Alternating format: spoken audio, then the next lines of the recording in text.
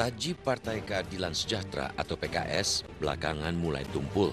Dalam sejumlah pemilihan kepala daerah, utamanya di kawasan ibu kota dan sekitarnya, jagoan-jagoan yang menjadi calon dari Partai Bulan Sabit Kembar ini mengalami kekalahan bertubi-tubi.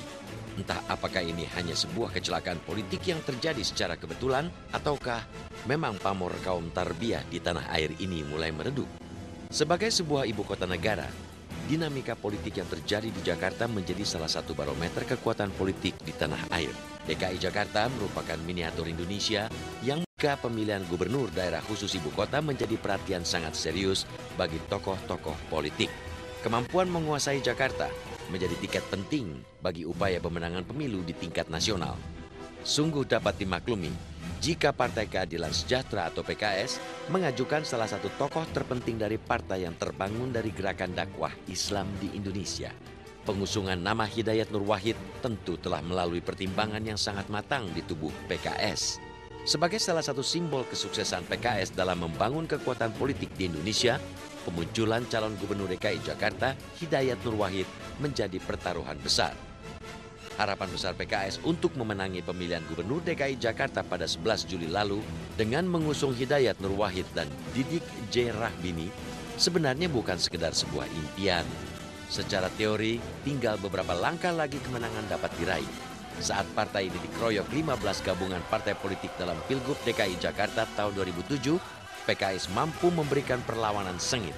Bagaimana tidak, pasangan Adang Darajatun, Dani Anwar memperoleh suara dukungan hampir 42 persen. Sementara pasangan Fauzi Bowo Priyanto menang dengan perolehan 58 persen suara.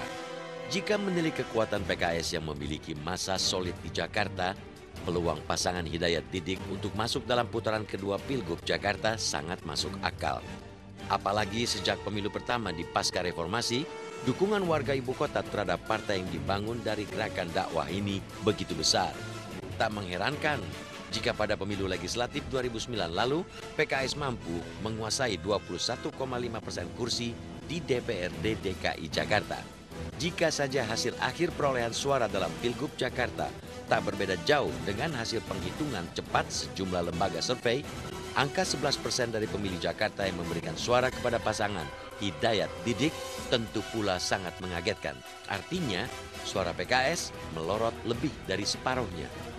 Kondisi kian ironis ketika melihat perolehan suara yang diraup Hidayat di TPS-nya sendiri.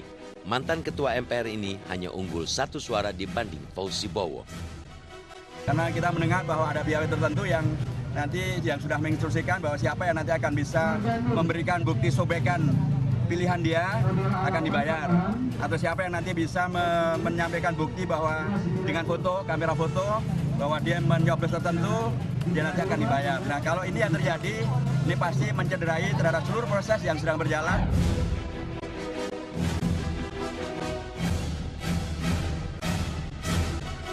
Kekalahan PKS dalam pemilihan gubernur DKI Jakarta seolah semakin melengkapi kekalahan sejumlah pemilihan kepala daerah di kawasan penyangga ibu kota. Lihat saja bagaimana perolehan calon incumbent Sa'dudin dalam pemilihan Bupati Kabupaten Bekasi beberapa waktu lalu. Sa'dudin yang merupakan jagoan PKS ini hanya mampu mengumpulkan sekitar 30 persen suara. Bahkan dalam pemilihan gubernur Banten, PKS yang mengajukan salah satu ketua Dewan Pimpinan Pusatnya, Jazuli Juwaini, harus cukup puas dengan dukungan 11,6 persen suara. Entah faktor apa yang tengah membelit Partai Bulan Sabit terbelah ini. Namun belakangan, dinamika yang terjadi di tubuh PKS terbilang